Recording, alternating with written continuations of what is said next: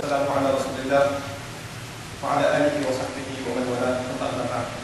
Inshallah, we're beginning with the eighth ayah of Surah Al-Baqarah today.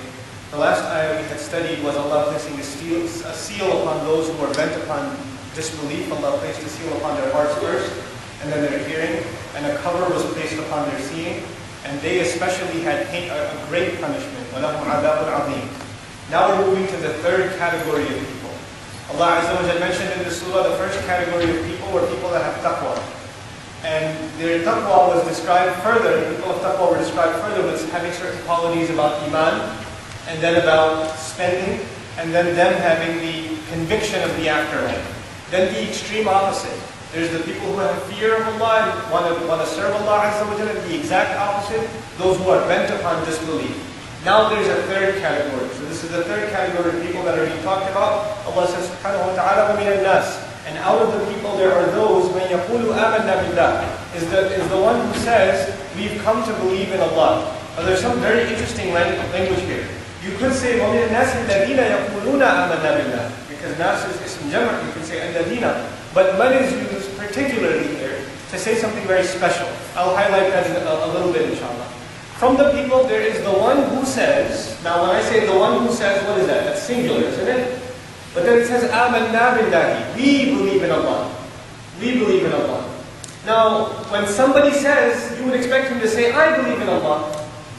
Because the singular is used right there, where the alternative in Arabic is available, though man can be used for the plural as well. Here specifically, Allah Azza highlights that he speaks, this single person is speaking, but he's speaking on behalf of a group. Amanna billah, we believe in Allah. Why? Because this is Allah is describing the hypocrite, the munafiq. And the munafiq, one of his biggest attempts, the attempt of the hypocrite is to seem like he is one with the believers. He's from among them. So he puts himself with the group and says, we all have iman in Allah. We're all the same. Amanna billahi. Wa bil. And in the last day, wa ma hum bi. And then Allah calls them out and says, they are not believers at all. And even in Arabic, again, when you say that someone is not something, there are tons of ways of saying it. But ma, coupled with ba at the end, this is one of the strongest ways to say no. In other words, Allah is saying they are not believers at all. They have no iman at all. You know, there are places in the Quran we'll find when Allah talks about the hypocrites, He says, وَمَا يَذْكُرُونَ اللَّهَ وَلَا يَذْكُرُونَ اللَّهَ إِلَّا قَلِيلًا They don't remember Allah except a little bit. Or they have a little bit of iman. But here in this surah, Allah is so harsh towards them, he says they have no iman at all, even though they say that with their tongues. Then he says, يُخَادِعُونَ Allah. They try to deceive Allah. Who's trying to deceive Allah? It is the hypocrites. يُخَادِعُونَ Allah. They're trying to deceive Allah. وَالَّذِينَ آمَنُوا And they're trying to deceive those who believe. وَمَا يَخْدَعُونَ إِلَّا أَنفُسَهُمْ But they're not actually deceiving anyone at all except their own selves with their claims to be true believers and to mingle in with the crowd of the believers, Allah calls this their attempt at deception. What they really are is no different from the other category that was described, those who disbelieve, those who proclaim their disbelief. They're no different as far as Allah is concerned. And when, when they try to mingle in with the ranks of the believers, Allah Azza wa calls them out as being, attempting to be spies basically. They're trying to fool Allah, they're trying to fool those who believe, but they're actually not fooling anyone except their own selves. وَمَا يَشْعُرُونَ And they don't even realize. They have no realization. Here it's very important that we make a very critical distinction that all Muslims should be aware of. It's a very basic thing, but sometimes it gets uh, lost in our uh, conversations. There are two basic kinds of hypocrites. There are two basic kinds of hypocrites. Hypocrites that are non-Muslims, but are pretending to be Muslims. You could call that a spy, a double agent, whatever you want to call it, right? These are people that may be sitting in the crowd right now. They have ulterior motives. I'll give you a, an example of a, a real-time example, just so you know how real this situation is. I was in uh, Chicago not too long ago. And I came from the Arabic, we had an advanced Arabic class during May times, so the masjid is basically empty before lower time. And I'm leaving the masjid, and this guy pulls up, long beard, turban, green clothes on, slippers, the whole gear, you know? And he pulls up to me at the random guy, blonde, you know, blue eyes, long blonde hair, right? Interesting archetype. He pulls up and he goes, aren't you the guy from YouTube? I was like, uh, I'm not sure who you're referring to. Yeah, yeah, you give those talks, right? I was like, yeah, okay, yeah, that's me. And we just started talking, and some brothers were going to take us out to lunch, and he wanted to jump in. And I knew something's up with this guy. You know, and my, my Arabic tutor also who was with me, he said, Hada shakhs khatir.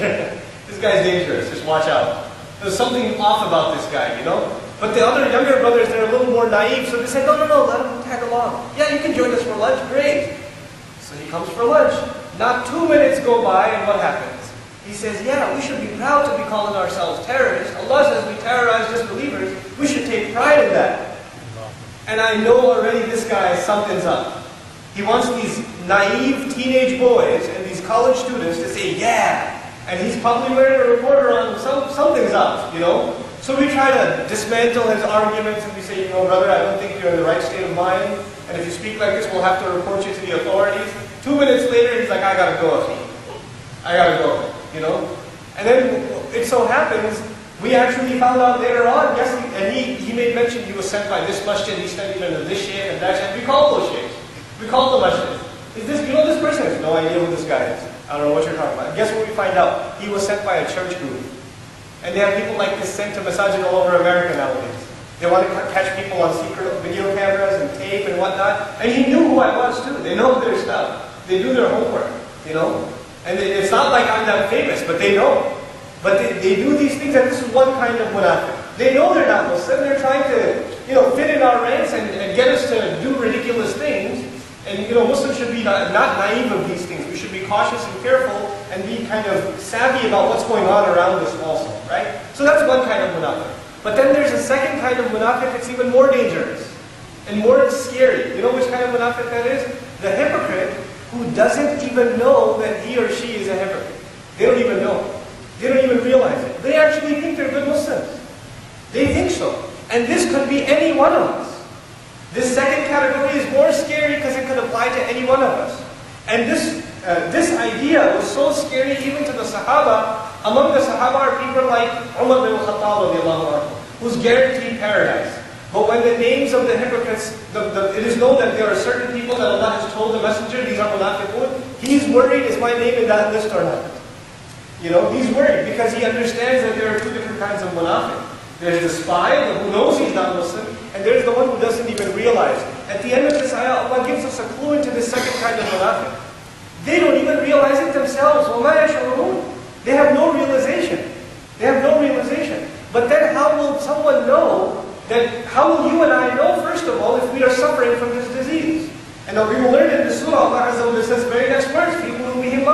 In their hearts there is a disease. Hypocrisy is a disease. Now if you are sick and I am sick, how are we supposed to know if we're sick unless we know the symptoms? Isn't that true? So the only way to know if you and I have the sickness is to look for the symptoms. Now this surah will give us some symptoms, other surahs will give us even more symptoms. So we should constantly be on the lookout for these things inside of us. When there's a serious disease out in society, like the bird flu or whatever, like swine flu, you take two farm animals, put a flu next to it, and you come out with a new one, right?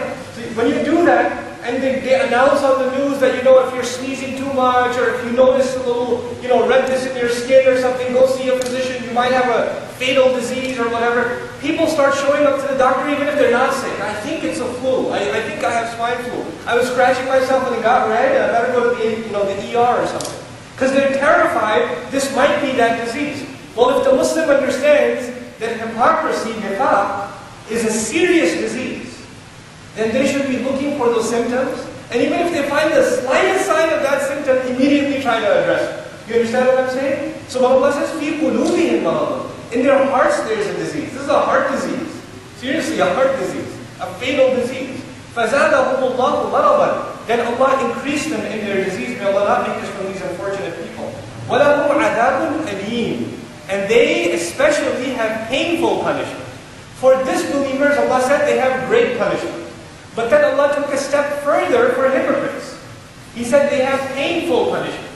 Alam is, is the meaning of pain. And alim means constantly painful. You know something about pain? If you speak to people who are suffering from a disease that causes them pain, they develop tolerance for that pain. So their tolerance goes up. In other words, if you're being suffering the same way every day, the first day it's a lot more painful, the next day it's painful, but not as painful as the day before. By Allah using the word alim, it means the pain is the same all the time.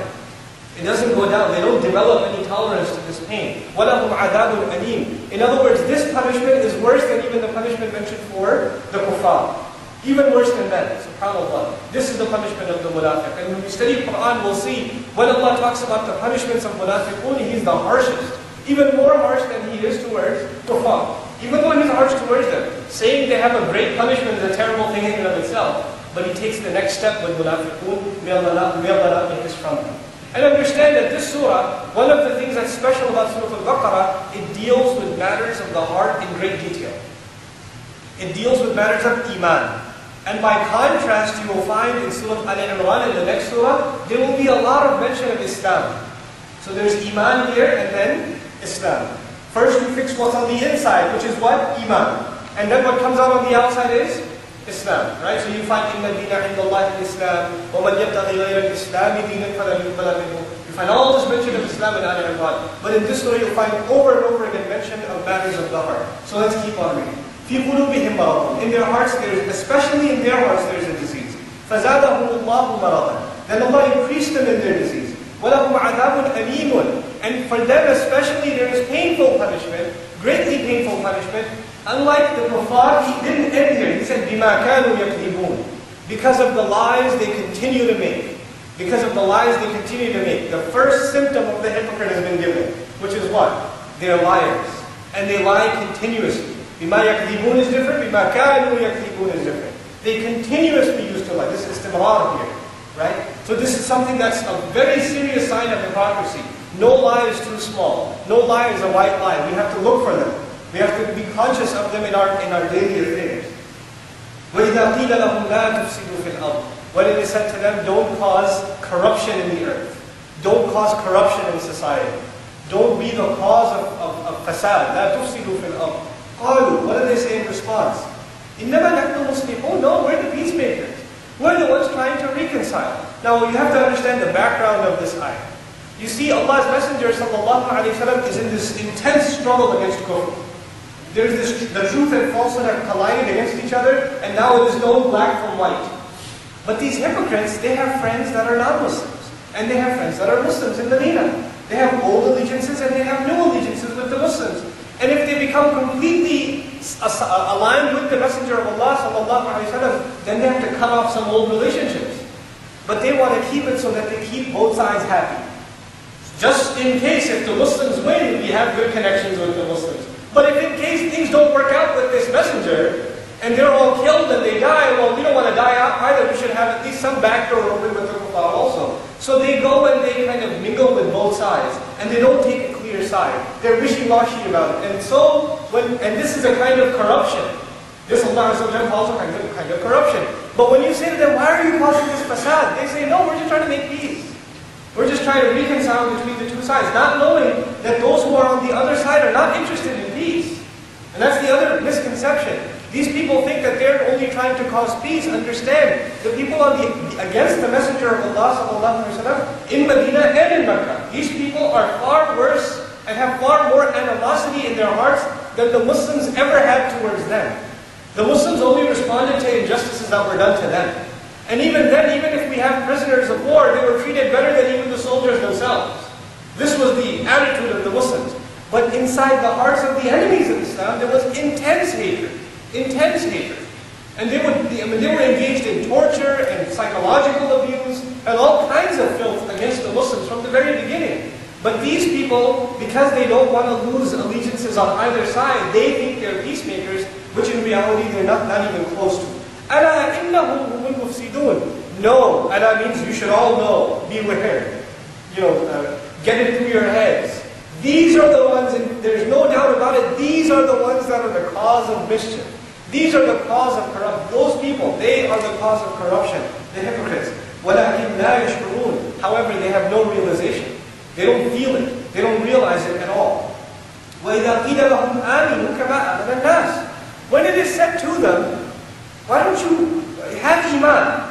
Develop iman in your heart just like other people have iman. In other words, they're told, look, why don't you have iman like Abu Bakr? Why don't you have iman like Allah? Why don't you have iman like, you know, Mus'ab ibn Umayr? Why don't you have iman like these people? What's wrong with you guys? Why can't you be more like them?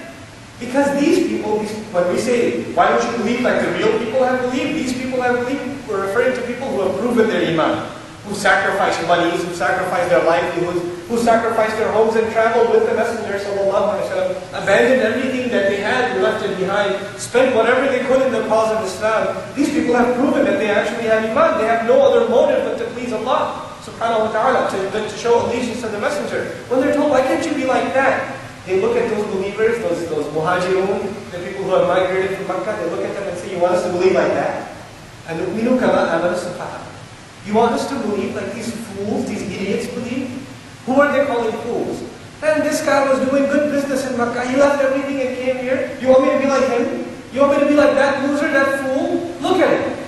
He doesn't even have the sense to save his house. Okay, you can believe, but you don't have to believe that much. You should sacrifice, but don't go crazy in your sacrifices. These people are too extreme. I don't want to be like them. So they call the true believers who have made all these sacrifices in their allegiance to the Messenger, sallallahu they call them fools.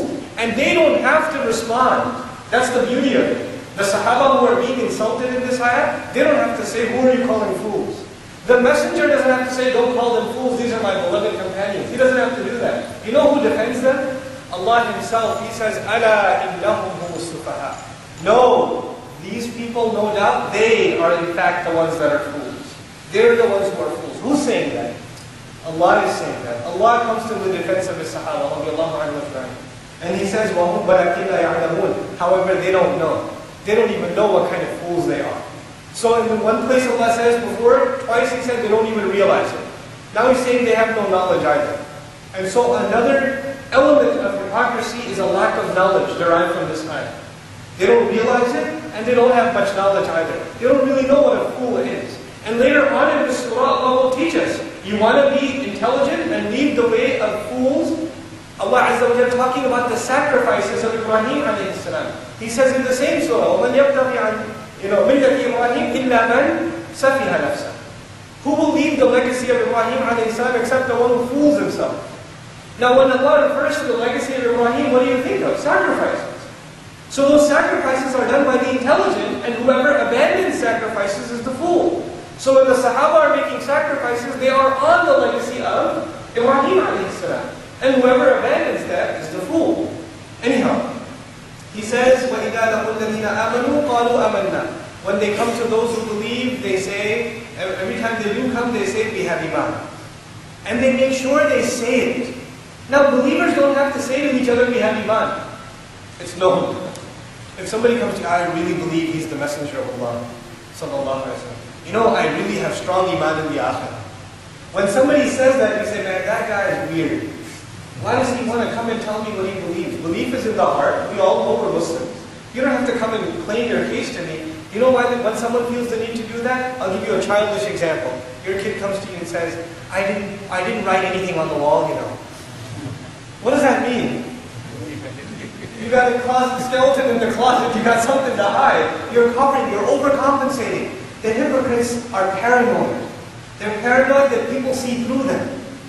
Right? They see what the filth is on the inside, because they got filth inside. And when they come to the believers, when they come to the community of the Muslims, they feel like everybody can see them for who they really are. So they feel like they need to cover up more. And the way to cover up more is, I really have a lot of iman.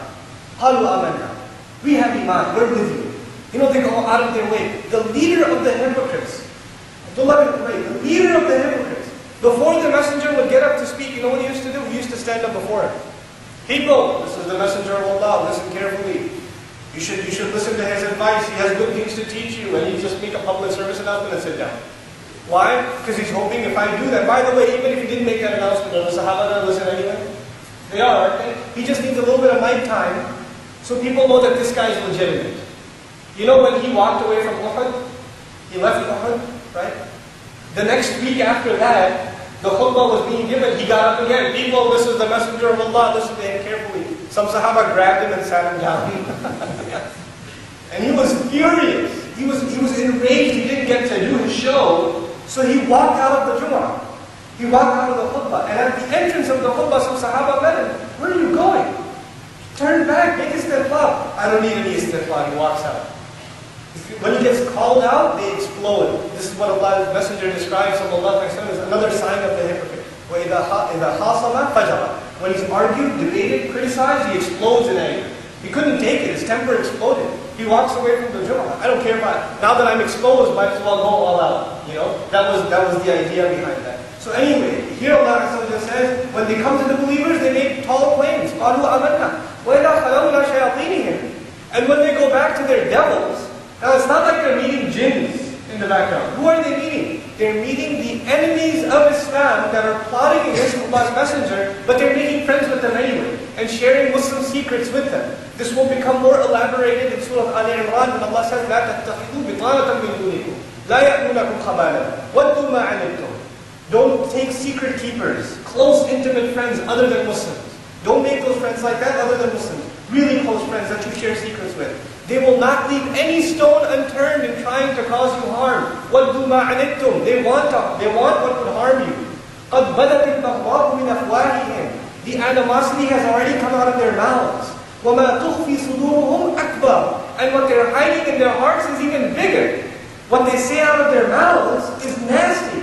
But you don't even know what they haven't said yet. Allah knows that too, and that's even worse. So don't think that they're there to make peace. They're just using you as a pawn, and these people are getting used. But when they go to them, they say, Inna ma'akum, inna ma'akum.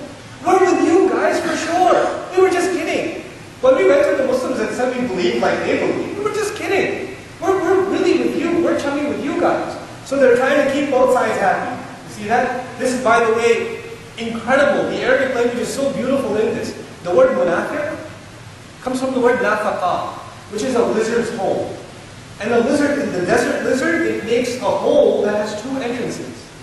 So if the, the, the, the hounds or the fox is coming after it from one hole, it can come out the other hole. If it comes out this hole, it can come out the other hole. From that we get, get the word munafiq. If the Muslims are in trouble, he can always have the open door with the kuffar. And if the kuffar are losing, he always, he can say, ah, I'm a believer right here, amanna. Right? So he's got both exits open. So this, this is the, the nature of the munafiq. Allah says, and so he says, we were just kidding. We're not really with those Muslims. You think crazy like that? No. Allah yastahzi'u bihim. It is Allah who is making fun of them. And there's a lot of isharat in this, uh, this part of the ayah. One of them, of course, is Allah will humiliate them on judgment day. But even now, this pathetic attitude is Allah's way of humiliating them. They have no respect. They have no, the Muslim community doesn't respect them. The kuffar don't respect them. Even they see them as weasels. They don't respect them either. Nobody, they have no respect, and they are the object of ridicule everywhere they turn. And this is Allah's way of humiliating these people. Allah yastahzi bihim. وَيَمُدُّهُمْ فِي طُغْيَانِهِمْ يَعْمَهُونَ And He lets, He extends them. Very powerful words. He extends them in their rebellion and allows them to remain blind. Now there's amiya in Arabic. Amiya, which means to be blind in the eyes. Then there's amiha, to be blind in the heart. Allah says, وَيَمُدُّهُمْ فِي طُغْيَانِهِمْ يَعْمَهُونَ He extends them in their rebellion, blind of the heart. Now what does that mean? It means they want they disobey Allah, they violate Allah's commandments, Allah gives them more opportunities to violate even more commandments, and more opportunities to disobey Him even more. In other words, in, in other than, rather than restricting the opportunities for evil deeds, Allah opens the door to evil deeds wide open for them. Go ahead, knock yourself out. Go ahead, dig your hole even deeper, if you will. When my teacher, Dr. Abdul Sami, was explaining this ayah to me, he said something really interesting. He gave a really interesting parable, I'll give it to you. He says you have a wild dog. You're trying to calm this dog down, it doesn't calm down. You try to put it on a leash, it's constantly pulling at the leash. So the owner decides that he's going to punish this dog. So you know what he does? He gives him a 300 foot leash.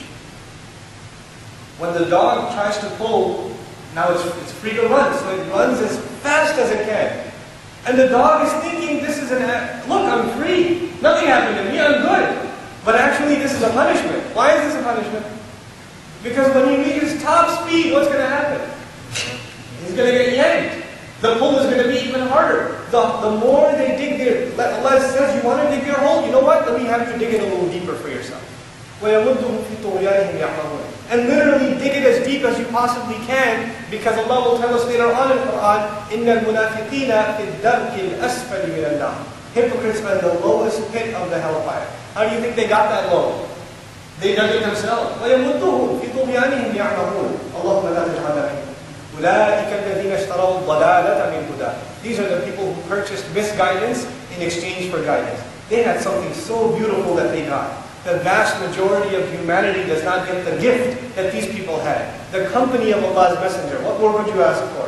They got to hear the kalam of Allah from the Messenger of Allah sallallahu alayhi wa How much more of a gift can you get? And they exchanged that for their misguidance. They, they traded that away. أولئك الذين اشتروا الضلالة بالهدى فما ربحت تجارتهم. Then their trade did not give them any benefit at all. وما كانوا مهتدين. This ayah often gets translated in a shallow way. Most translations say, and they weren't guided, or they had never been guided. But actually, muhtad is someone who makes an effort to be guided. And Allah is saying they never made an effort to, to, to commit to guidance. They were never such. This is why they ended up in this case. Even when they entered Islam, it was a casual endeavor. And when you come into something casually, you can walk out of it casually too. When you make a serious commitment to enter into something, it's very hard for you to come out of it. But they, they came into this Islam on a bed of roses, very easy. Islam's on the rise, Medina is becoming more and more powerful, the followers of the Messenger sallallahu alayhi wa sallam, are gaining more and more control. This seems like an easy thing to join. So they joined it, but they joined it with a lot of ease. There was no difficulty for them to join it. They, they, they, no commitment was tested. So Allah says, وَمَا كَانُوا مُهْتَدِينَ They were not committed to guidance at all. مَثَلُهُمْ And we'll, we'll end with these two parables, inshallah. Very, really beautiful parables of two degrees of nifaq. Two degrees of hypocrisy Allah compares with these parables. مَثَلُهُمْ Their example. كَمَثَلِ الَّذِي اسْتَوْقَدَ نَارًا Is the example of someone who lit a fire. Someone who lights a fire. Now, I want you to understand the examples in the Quran, you cannot appreciate them until you imagine the scene Allah wants you to, to He depicts scenes. Very picturesque scene. So it's pitch black and somebody lit a fire. Then he says, فَلَمَّا أَضَاءَتْ مَا حَوْلَهُ When everything around him was, was brilliant with light. It was lit up. He lit this fire, the fire kindled, and the black around him started disappearing. Now there's light all around him. How many people lit a fire? One. الذي استوقد نارا فلما أضاء ما حوله مفرد singular one person now listen ذهب الله بنورهم Allah took their light away their light away in other words now Allah is talking about another group of people it's not the same person this is actually the one who lights the fire this is the picture given of a messenger of Allah sallallahu alaihi wasallam or even some ulama commented this is talking about Musa alayhi salam because Bani is coming later on so he lights a fire. He gives the, the light of guidance to his community who were in darkness. So now they can see. Before this, they were begging for guidance. They were looking for a way. They had no, they were in darkness. And now finally they can see. But even when they saw the right way to go, they, they didn't benefit from this light. So what did Allah do? ذَهَبَ اللَّهُ بِنُورِهِمْ Allah removed their light. Allah, so they're no longer able to see their light. And some ulama commented here, in this ayah, nur actually means their absar that they, their, their ability to see their own light, meaning the ayn is also in, in Arabic poetry, nur, one of the meanings of nur is your eyes. Because your eyes the means by which you can appreciate light. So ذهب الله بنورهم means their ability to appreciate lighting. Their eyes were gone. In other words, now that the light's turned on, you're blind. What benefit is the light turning on now? You yourself are incapable of benefiting from the light. These are people who were, had access to guidance, who were exposed to the light, didn't want to benefit from it.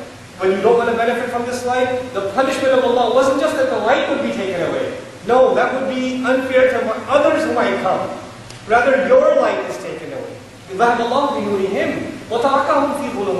And He left him in shades of darkness. Not ظُلْمَ ظُلُمَات Shades of darkness. So some people are in a degree of hypocrisy, some even more, some even more, some even more. There are different degrees of hypocrisy. They're not able to see. Then he says, Summun, Bukmun, Umyun. Now the, the translation is deaf, mute, and blind. I'm not going to say dumb, that's politically incorrect. Okay? So deaf, mute, and blind. Deaf, of course, not able to hear. Mute, not able to speak. Umi, not able to see. These are plurals, all three of them. But there's no and in between them. In other words, it doesn't say they're deaf and mute and blind. There's no atuf in between. You know what that means? They're all three at the same time. Now can you imagine, it's, there's, a, there's a fire, there's a light there, but these people are three things. They're deaf, they're mute, and they're blind in the middle of the desert, in the pitch black. What's the harm of being deaf? If somebody says, okay, you can't see the light, come over here, can they hear that? No, they're not able to benefit from, they're, they're, they're listening. They're deaf. then, okay, I can't see it, I can't hear, maybe I can call out for help. But they can't call out for help because they are mute. They're mute. Okay, but I can't hear anybody giving me guidance. I can't even ask for it because I'm mute. Maybe at least I can see them, but now we're mute. They're blind. In other words, all access to guidance is stopped. All access to guidance is stopped. I mean, Imagine that scene. If you're in the pitch black, you can't see anything, you can't hear anything, at least you would be able to call out for help. They can't even do that. All three roads to access to guidance have been taken away. Then they're not going to be able to return. And here, eh, in this remarkable ayah, Allah said, Again, subtle precision in the Quran. These people had life, right? So they were in the place they're supposed to be. Then their light went away. So they went off. When Allah says they can't come back, come back to what? Come back to what they had to begin with. They were where they were supposed to be. So their starting point was good. Then they went back. That's the nature of the hypocrite. They, these hypocrites, especially the ones who don't realize they're hypocrites, they may have come for good reasons, but they didn't have the moral will or the strength of character to hold on to this faith the way they should. So they're not able to come back. Now, the second example. This was the first example. The second example, another kind of hypocrisy, nifaq. Or picture a dark cloud in the sky. فيه ظلمات In it there's a lot of darkness. وَرَعْدٌ وَبَرْقٌ And there is thunder and lightning inside that, that, that cloud. Now, I, we don't see that much, you know, heavy dark clouds in like Texas area. If you go places like Georgia or you go to like uh, more towards the East Coast, like Virginia area, the clouds come real low. And you know, it can become like pitch black almost even during the daytime. It gets, it gets pretty scary. These dark, dark, dark clouds. Now this intense, this rain is going on, nighttime, heavy, heavy clouds, and this thunder and lightning is taking place. Now these people are stranded. There's a bunch of people stranded in this scene. Now imagine this scene. He says, يَجْعَلُونَ أَصَابِعَهُمْ فِي آذَانِهِمْ They place their fingers in their ears. مِنَ الصَّوَاعِقِ Because of the loud explosions. The sky thunders. You know, even nowadays when sometimes there's thunder, our children wake up and start crying. Even you like, jump out of bed like, what, was that? You know? Now they're traveling and they hear a loud sound. You know, and they immediately get rattled. So they don't want to hear those sounds, so what do they do? They stick their fingers in their ears. Have a mouth out of fear of death. Be cautious of death, be wary of death. What does this parable mean? That's what we're going to conclude with, inshallah But when we say, Allah. Allah has completely encircled disbelievers. The passage was about munafiqun. The, the discussion was about people who say they believe but they don't have iman. But Allah ends وَاللَّهُ مُحِيطٌ بِال وَلَمْ يَقُلْ مُنَافِقِينَ قال الكافرين وَاللَّهُ مُحِيطٌ بِالكافرين Allah has encircled those who have kufr. Because Allah knows what's inside. Allah knows what's inside. What's inside is kufr as far as Allah is concerned. But I wanted to share with you the benefits of this scene that Allah has drawn and what some ulama have to say about this scene that has been given. What they essentially have to say, so you can understand the next, the completion of this parable, is that they are in this difficult journey. The idea is they're in a very difficult journey, and in this journey there are scary things happening. What are the scary things? This, the, the, the, the climate is getting darker, right? And there's thunder and lightning, which is scary. This is describing the journey one takes into Islam. When someone takes a journey into Islam, it's not an easy journey. It's going to be filled with difficulties and challenges. Now, these people are so scared of the challenges, what do they do? They pretend those challenges aren't there. They pretend that they don't have any responsibility. Now, let's see what else they do. Allah Azza wa says, يَكَادُ الْبَرْقُ يَخْطَفُ أَبْصَارَهُم The lightning almost takes their eyesight away. So the imagery of your eyesight being removed is being repeated. The previous parable also had it. This one also had it. When the lightning comes, their eyes are almost blinded. You know, they can stick their fingers in their ears, but that still doesn't mean they can ignore other aspects of the climate. They will still see something. This is mentioning that, you know, uh, even if they don't listen to the message of Islam, even if they refuse to listen to the messenger, sallallahu alayhi wa there will be situations that occur in the life of the messenger and in the career of the believers that they will have to face. They will have to face them. And those situations are so intense for them, they almost lose their faith altogether, their ability to see the truth altogether. يَخْطَفُ أَبْصَارَهُم كُلَّمَا أَضَاءَ لَهُمْ مَشَوْا فِيهِ Then every time the, the light comes out for them, meaning a little bit of lightning strikes, they can see, so they start walking. وَإِذَا أَضَّمَ عَلَيْهِمْ قَامُوا And whenever it gets dark again, they stand. Ulama comment about this part of the ayah, this refers to some commandments that they find easy. But a little bit of a road is seen, when there's a little bit of opportunity to move forward, go along with the believers, they'll go forward. But when times get tough again, they're standing, it's too dark, I can't move forward. Too scary for me. I'll just stick my fingers in my ear. And this, by the way, understand the, the one of the purposes of this scene. If you're in the middle of a dark night and it's thunder and you have to travel and get somewhere, is it a logical attitude to stick your fingers in your ear just so you, you'll be safe? It's an idiotic thing to do, right? By means of this parable, Allah is calling out the stupidity of, of hypocrisy. He's calling it a stupid attitude. It is not something based in reason or in intellect. Even though the, the hypocrites are very confident in their knowledge and in their understanding, they're the ones that are fools. And Allah said that they are fools a few ayahs ago, didn't He? Now He's explaining to us some of the aspects of their foolish behavior.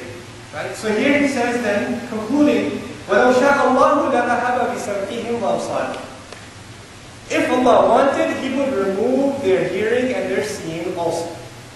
In other words, the previous group, what did Allah take away from them? You remember? Their seeing was gone, their hearing was gone, right? Their speaking was gone. Allah says these people, at least they're following a little bit. When the lightning strikes, at least they move a little bit, so they're not completely immersed in nifaq yet, hypocrisy yet. They still have some hope. But if Allah wants, and if they continue this way, then Allah will remove their hearing, their hearing, and they'll become like the previous group also. But they still, these people still have hope. In other words, when the believer who has weak iman, like, like myself and you, if we have weak iman inside us and we hear this ayah, we say, hey, we better change our behavior before Allah decides the worst case scenario, right? وَلَوْ شَاءَ اللَّهُ لَذَهَبَ بِسَمْعِهِمْ وَأَبْصَارِهِمْ إِنَّ اللَّهَ عَلَى كُلِّ شَيْءٍ قَدِيرٌ No doubt Allah is completely capable over all things. Now the concluding ayah. Three groups have been talked about. The believers were talked about briefly. The kuffar were talked about briefly. Then the munafiqun were talked about at length. At length. Why? Because the believer is very clear category. The disbeliever, very clear category, wears a sticker on his head, kafir. You know, I've had a, when, when we were moving to Texas, one of the guys that were on the delivery truck for our car was wearing a t-shirt, said kafir on it. An infidel. Even though we don't use that translation. But they do. Proud to be kafir, right? So he's, he's not hiding it.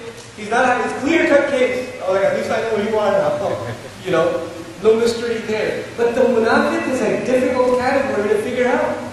You don't know, I don't know where I stand, you don't know where you stand. And we don't know where the person next to us stands. We don't know. And there's no reason for us to judge either. So Allah spends extra time on the case that is difficult. Extra time on that case. And then you will notice after this introductory passage, we'll discuss a lot about Bani Israel. Why? Because they had the problem, not of Iman and Kufr. Their real problem was nifaq, hypocrisy. Learn from their mistakes so you don't make the same mistake. That's why Allah will give us detailed accounts, detailed accounts of the, of the life of Bani Israel. But concluding with all these three groups, all three groups altogether make humanity altogether. Humanity is either believers, or disbelievers, or hypocrites. So now at the end of this passage, it's time to address all of them all together. And a final invitation. Ya ayyuhan nas. People, all people, listen up. U'budu rabbakum enslave yourselves and worship your, the master of all of them. Enslave yourselves to your master. Or This is, if somebody asks you what's the summary of the Quran, this is the summary of the Quran. Accept yourself as slave, accept Allah as master, you've got the summary of the Quran. اعبدوا ربكم الذي خلقكم والذين من قبلكم the one who created you and the one who created those who came much before you. Enslave yourself to him. لَعَلَّكُمْ تَتَّقُونَ so that you all, now here taqwa means something else. Taqwa doesn't just mean you can be fearful. Here it means so you can protect yourselves. The word taqwa in the Quran is also used in the meaning of protecting yourselves.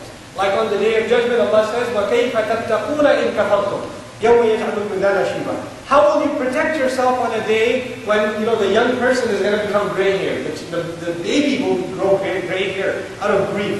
How are you going to protect yourself on that day? The taqoon is used in that ayah. Here Allah says, enslave yourselves to your master so you can protect yourselves. This, the Quran begins, Baqarah begins, Allah Azza wa says guidance for who? For people who have taqwa People who actually protect themselves, who want to protect themselves, who take precaution. Allah says you should become enslaved to Allah so you can gain this quality of taqwa. You can be of those who protect yourselves. May Allah make us of those who protect themselves, who have the quality of taqwa. May Allah overlook our mistakes and remove the disease of hypocrisy from our hearts and keep our iman strong and help each other build love for each other and love for this deen and love for this book and love for His Messenger sallallahu alaihi wasallam. بارك الله لي ولكم المسلمين ونفعني وإياكم بالآيات والذكر السلام عليكم. ورحمه الله وبركاته